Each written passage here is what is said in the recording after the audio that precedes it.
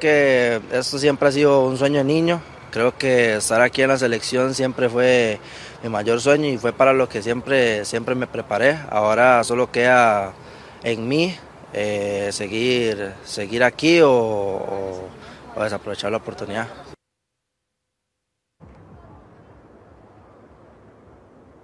La selección ecuatoriana se quedó en New Jersey con el apoyo de todos sus seguidores, más de 25 mil personas el sábado anterior en aquella victoria contra Bolivia. Se informaba el fin de semana la lesión de Piero Incapié, el defensa del Bayer Leverkusen de la primera división de Alemania y en las últimas horas de Xavier Arriaga, que juega acá en la MLS, se pierde también por molestias musculares y son dos piezas claves y fundamentales que no tendrá el técnico Félix Sánchez, el técnico español que dirige a la selección ecuatoriana y es parte de lo que representa el rival de la selección nacional. Ahora vamos a hablar de Luis Fernando Suárez, que por segunda ocasión de forma consecutiva va a estar en el banquillo de la selección nacional en una Copa Oro, estuvo hace dos años y ahora en esta edición del 2023.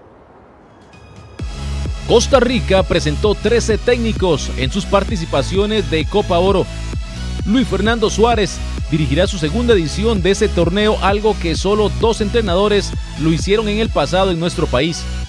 Rolando Villalobos lo hizo en las ediciones de 1991 y también de 1998. Durante siete juegos, Villalobos obtuvo un 29% de rendimiento luego de dos victorias y cinco derrotas. El otro que también dirigió en dos Opas Oro es Alexandre Guimaraes, al conducir a la tricolor en 2002 y 2005. Su saldo refleja cinco victorias, dos empates y dos derrotas y un rendimiento del 63%. Ahora será el turno para Luis Fernando Suárez, quien dirigió a la CL en 2021. Eso sí, el colombiano será el primer entrenador en llevar a Costa Rica a dos copas seguidas. En la edición anterior, Suárez alcanzó el 75% de rendimiento, merced a tres victorias y una derrota. Además del juego de la selección este martes contra Ecuador, jugará Martinica y Puerto Rico. Importante porque con eso se